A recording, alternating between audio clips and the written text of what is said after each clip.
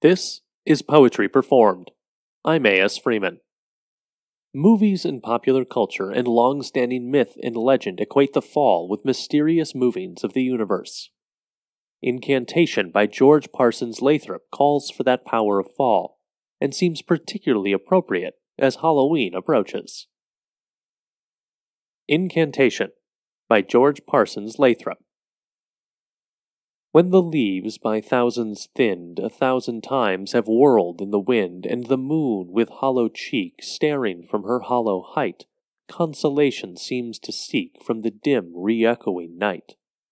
And the fog streaks dead and white lie like ghosts of lost delight, o'er highest earth and lowest sky.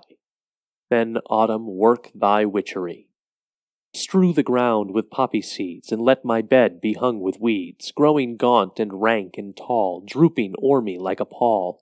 Send thy stealthy white eyed mist across my brow to turn and twist, fold on fold, and leave me blind to all save visions in the mind.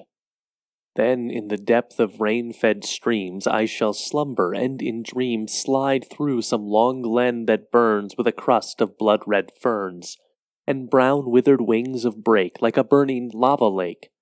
So, urged to fearful faster flow by the awful gasp, hawk, hawk of the crow, shall pass by many a haunted rood of the nutty odorous wood.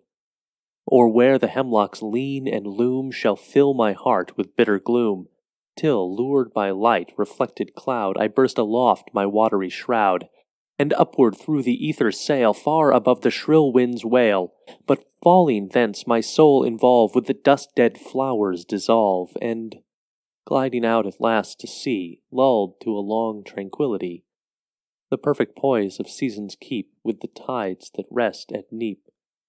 So must be fulfilled the rite that giveth me the dead year's might, and at dawn I shall arise a spirit, though with human eyes, a human form and human face and where I go or stay, there the summer's perished grace shall be with me, night and day.